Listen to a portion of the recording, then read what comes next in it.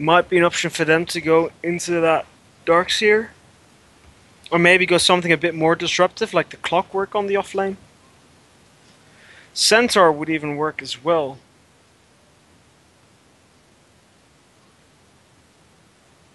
Like, I think most of the offlaners are actually pretty pretty good for the team for Hatters in time. Even something like like the Phoenix would be pretty good.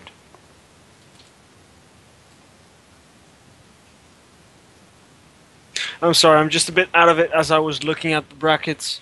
Um, unfortunately, I don't have Ledney right here right now to pick up a bit of the slack um, as he's busy with some other stuff right now. Um, but both teams taking their time to actually get the picks they want. Make sure that they make no mistake during the drafting phase.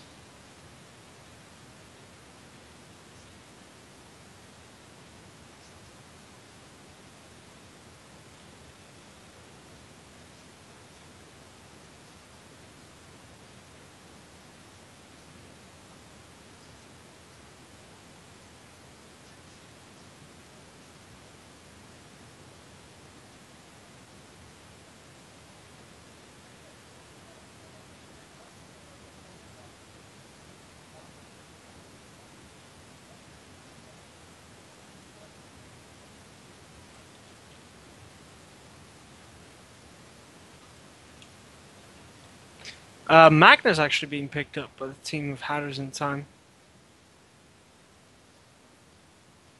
I'm just going to take a look at the rest of my team. Uh,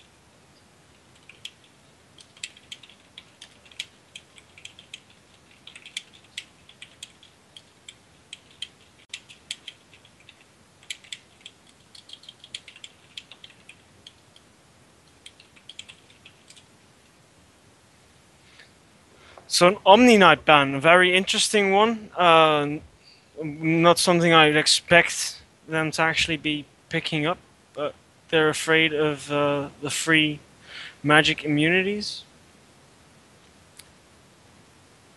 They're looking to ban something that'll go solo up against the Magnus, I guess. Because I'm expecting the Chaos Knight Disruptor and the Witch Doctor to once again go into the aggressive lane. So something I I say you should be picking up for the side of Walrus Rising is a Beastmaster. Get the Beastmaster, have the little slowing boar, the nice little lockdown with the roar, easy to land a Sunstrike onto that, as well as just having the slow, the boar slow in a 1v1 matchup against another melee, basically wins you that lane. Then you have an Invoker going up against the Alchemist, as well as the aggressive Tri lane going against the Dazzle Gyrocopter and whatever comes out next from Hatters in time. But we'll have to see what Walrus Rising decide to pick up. Um, either way, it will be solo against a Magnus and should be something that has a pretty good time against him.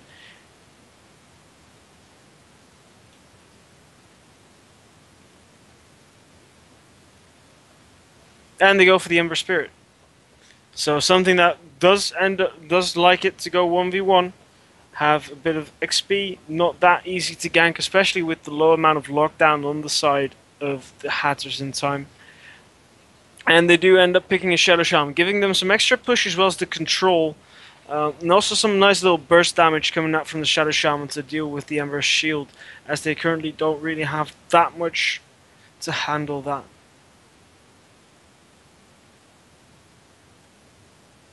Um, yeah, I'm back. Sorry for the absence. It's actually like Reaps was their invoker, their mid player for the last time. So is is Reaps going mid on the Magnus, or are they just switching it up? Um, as rules was their one of their supports, I think. So they're, they're they're really switching up their roles this time. Um, so they're they're not really that committed to their role in the team, but more the heroes they like to play. So for the side of the Radiant, who are now smoked up, we have CDX on the Gyrocopter. We have Shadow playing that Shadow Shaman, Reaps on the Magnus, Floyd on the Dazzle, and Rules on that Alchemist. Yeah, and uh, for the Dire team, we have uh, one second, boys. uh, Tima Echuria on the Invoker, uh, Spudo on the CK or Chaos Knight, uh, uh, on the Witch Doctor, AE3 on 8 on the Ember Spirit, and S.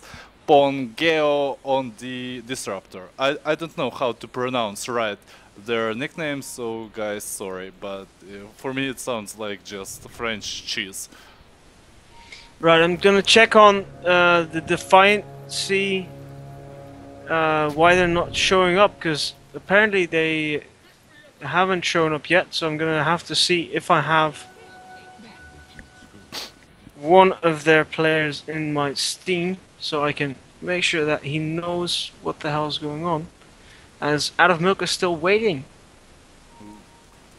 Uh, the boys are making a imba strat against them probably. Calling Volvo. Volvo, tell us what to pick. Almighty. And uh, yeah, uh, meanwhile, guys, Invoker is heading to the safe lane and uh, he learned uh, Wex. So uh, actually, it can be or a uh, Wex Exort Invoker uh, with one point in Cold Snap uh, into Alacrity and maybe Sunstrike or Meteor, or a uh, Cold Snap uh, Tornado EMP in Invoker. And uh, middle is uh, Alchemist versus Ember Spirit, and actually Alchemist will have a easy time against the Ember. First of all, uh, they're even in armor. Alchemist's uh, acid spray is physical damage, so the uh, flame guard doesn't block it. And according to the gain of gold, uh, Alchemist will go ahead. Uh, and uh, of course, a aggressive tri lane with the CK Disruptor and uh, Witch Doctor versus a Gyro, Shadow Shaman, and Dazzle. And uh, this is actually the most interesting part uh, of the game by now, because uh, either way uh, it can go. So if if CK catches someone out, it's a fast kill. You can uh, like uh, follow up with the cask right now, yeah, and you just block with Yeah, the, the bounce goes kinetic through, field.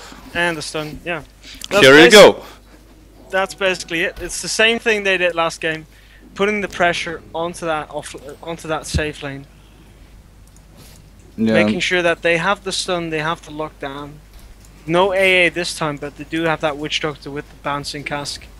And yeah, uh, mid lane, Alchemist already made two mistakes. First of all, he didn't uh, go two levels first on third level into acid spray, which uh, like gets off Ember from the lane, and he didn't skill a stun. He maxed uh, the Greevil's Greed, and uh, he should know that if you, uh, as further you max out Greevil's Greed, you get less bonus from the bounty rune.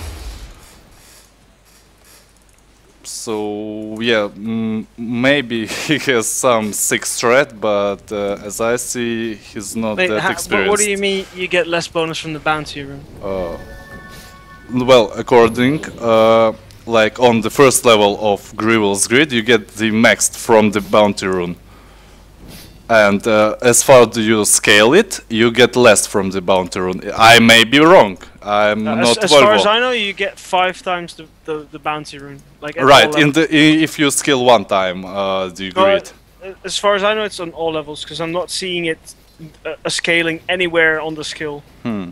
Well, I was telling I could be wrong, but uh, someone told me that Uh, like it's like that. I'm not telling that it's true or something, Yeah. No, it's it's it, you basically get 500 at all times. Mhm. but still you need the, the Yeah, he's, he's taking quite a bit of damage. He's running in, uh, like he's throwing out the acid spray, but it's not getting rid of the flame guard as it does physical damage. Yeah, and so the uh, flame guard will keep doing quite a bit.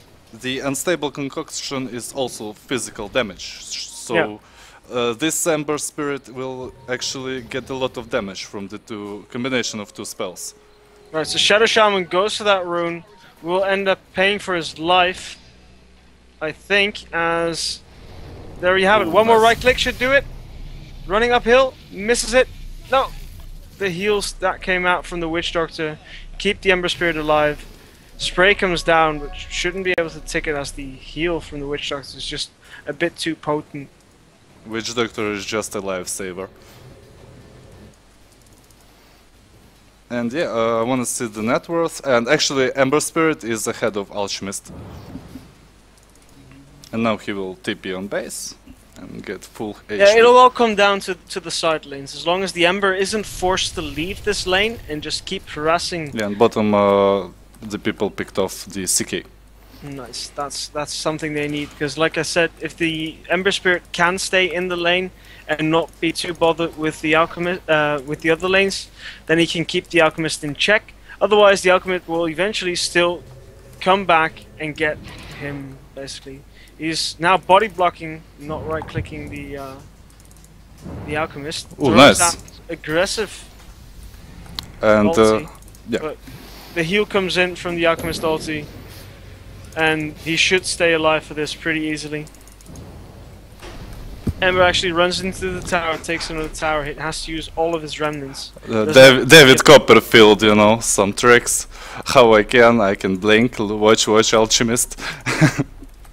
I can put three remnants on mid and blink, blink, blink. So the Hatters in time have now reclaimed their uh, their safe lane, basically. With the the Witch Doctor having to babysit the Ember Spirit from time to time, Shadow Shaman wanted to go for the rune. They don't have vision of that area, at least not the part where uh, Ember as well as Witch Doctor were standing. So as soon as he came in, he was uh, caught out. Mm, un, uh, incorrect movement by this shaman. Yeah, and about the top lane, uh, actually, um, Invoker is doing really good. Like he's already leading in CS, and uh, as further goes, like it's hard to stay a Magnus versus an Invoker, a Quas Wex Invoker, because even if you skewer, you can disrupt it with the tornado. So Right, so with that max level, I think he had three levels or four levels in Greevil's Greed. He used a bounty rune and I only saw him gain 310 gold, which is a bit weird. So uh, uh, I was right, actually. Yes. Apparent, it looks like it. We'll, we'll have to see next time he picks one up. It doesn't show anywhere on the skills, so it's it's a bit weird to have that hidden in the uh, in in the actual files. Um, I'll, I'll have to check next time with the net worth as soon as he picks up another one and uses it to see how much he actually gains. But in game, it sh- it showed a plus three ten, which is a bit weird. So the rotation towards mid from the Magnus. Sees the Ember Spirit, pushes him back. Well, 300 Bottom gold. No, no, no, man, you were right. Because uh, 300 gold is the five time uh, normal gold. Uh, but uh, the, the difference is uh, where I was wrong that the first starting bounty rune gives x2 uh, from the next bounty runes. yeah. Yeah, exactly. The, the first one is worth double. Yeah. That that was it. Yeah. So it's uh, it's still the same. For some reason, I keep thinking that every bounty rune gives about like gives a bunch of money. And yeah, Magnus is in trouble. Gets a three second stun. Chaos Knight actually pulls in the creeps because he wanted to bounce to go out. Ends up running back. He takes an invoker hit. The Shackle comes out with the tornado EMP. One more right click, finish off the Shadow Shaman. Four people now in this bot lane should be able to take this tower pretty easily. But the Alchemist is mid, and he's uh, gaining some money. He's going for what looks to be a. Mm, Well, it- maybe he's like. Is it a uh, Vanguard? No, no, it's a super build, you know, super. Uh, from uh, Witcher Gaming does like this on Alchemist. He just gets the Vitality booster for the HP in further going to Heart of Tarrasque. He just Okay. leaves it, you know, for the HP because it's very cost effective. I mean, eventually that point booster. I'm just looking to see what I'll use it for. I mean, just getting a casual point booster to get some some HP. Well, it's for To- to go into the- into the build? 1250 HP and you can go into Heart after. So yeah, but you can go into heart, but you can also use it to go into that Octarine Core eventually. Like it's also mm. used for that. Yeah, and oh, if you yeah, go yeah, for I forgot about it. Nice little skewer, just misses everyone, gets stunned up, ult comes out, Reality Rift will finish him off. Shadow Shaman TP'd in, actually got glimpsed back, saving him from uh, certain death as he was also caught into uh, the kinetic field and the EMP. So kind of a bit of a misplay there by the Disruptor using both skills and basically saving the Shadow Shaman that way. But another tower is claimed. Gyrocopter not having the time of his life But has I, I- I don't understand, okay, this moment that, uh, so your alchemist, you're getting max Greevil's Greed, okay, you got mid, for your max Greevil's Greed you get HP items so you don't die, but you have a Magnus, a uh, Gyro, uh, and you can fight, actually, if you would have that stun into the RP and so on. Yeah, I, I, I definitely like. I if I was him, I would also just go for the uh, the quick medallion, uh, and just get the stun and go for that way. Like Yeah. minus ten armor on someone when you throw the stun. A few right clicks, does quite a bit of damage. Man, on as well Ember as you Spirit. being able to fight early with stuff like the Gyrocopter, who only has a 55 second cooldown on his ultimate, while having the the bigger the bigger fighting cooldowns. Uh, in the Magnus RP, but also having the control of the Shadow Shaman. yeah, He and should have been able to take this. The Magnus could learn one time, not two times Skewer, but one time Empower for the Alchemist. And uh, yeah, it would be definitely easier to fight, you know, to initiate and uh, actually throughout the game, even to farm with the Alchemist with the maxed Greevil's Greed. Hmm. You don't have the damage, boys. Now you have. He's gonna have to keep running. Witch Doctor will try and body block it up, but wasn't able to. Stun flies out, three seconds. They're stacking all their cooldowns, but the EMP should be able to finish him off.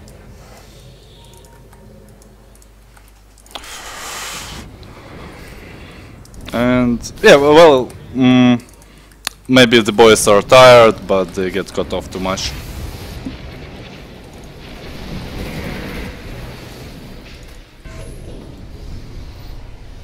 Oh, nice tornado. Glimpse back, Magnus Re- has a great, but also has a, an urn, which uh, caused him to tick down. So yeah, uh, is comeback uh, real? I think this time definitely not. M- Maybe if last time with the Spectre SF, maybe there was a tiny bit of hope. This time I don't see them coming back to this game. Invoker almost, well not almost, okay boys, not almost, but is near his uh, silence. Uh, and uh, yeah, Seke is feeling really decent. Uh, Ember is feeling really decent with the drums, a stick, a graded stick. Maybe goes into travel boots. And uh, the main thing, the two supports are mm, really good at money. And yeah, smoke from the Radiant team. Uh, okay, guys, but you need stuns. And you have only a hex from Shadow Shaman and a net. Yeah, not having any stuns against something as slippery as a Quas Wex Invoker, as well as the a Ember Spirit. Yeah. Like they have a slow, they have some lockdown, but all the lockdown is used. Charge comes in, has to RP, but he gets EMP'd. Doesn't have anything as the Invoker was just in time with this tornado. One going down, two going down, three going down. Three to one now, but the Alchemist should not be long for this world. As well as the Dazzle trying to run. but There's one Ember Spirit left. Has to throw it out. He gets Goes out. nice. Gets the cold snap, and then the reality rift drags him back in. a five for one exchange. and uh, that was like game. well, uh, maybe I'm too negative, but uh, you you when you have an alchemist, a gyro, uh, you need to farm and split push, not to go in smoked without a stun. Onto uh, a team that leads uh, like 17 kills. Well, not 17 at that moment, maybe 15 maybe maybe even less 14 13 but still yeah travel boots and ember spirit now he will farm a lot faster and yeah another try another net skewer rp but no follow-up Nothing. He has yeah nothing now, left. now Gyro gives out. his ultimate the cooldown goes but now he's uh, 1 versus 5 and he will die Alchemist comes waltzing in as well. Gets the Searing Chains, the 3 second stun to his face. Dazzle throws out the Shallow Grave, gets silenced up. Alchemist shouldn't survive. And there we go, Dazzle goes down as well. Wicked 6 streak now for the CK. Actually, rushing a Manta? Why not? Eh? uh, you know, uh, I, I just can, you know? It's like that. Why not? I will have a manta till before 20 minutes, so I will have uh, with the reality of five guys that hit you. That's pain.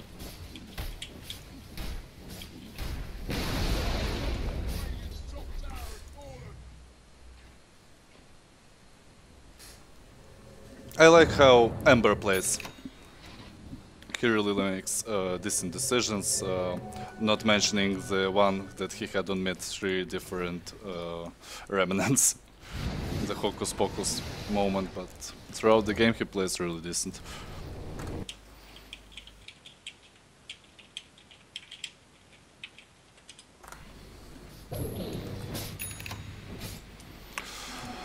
Right, so judging by uh, the standings so far, with uh, several teams not showing up, um, unfortunately, um, the Defiant weren't able to come in uh, to play against Out of Milk, which basically caused the Out of Milk to now have four wins. Really? Yeah, they're now four out of four, basically.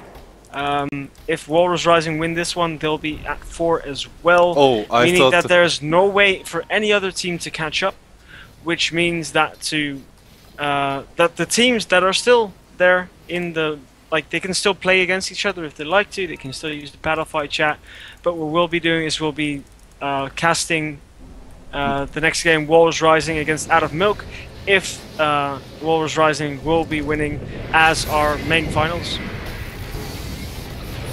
Well, it seems so. A dive behind a tier 1 tower turns very, very deadly as the Witch GG. Doctor ulti takes quite a bit of damage. So that's a GG call. That's one game again for Walrus Rising. Yeah, uh, thank you guys for the fast games. Really didn't expect it.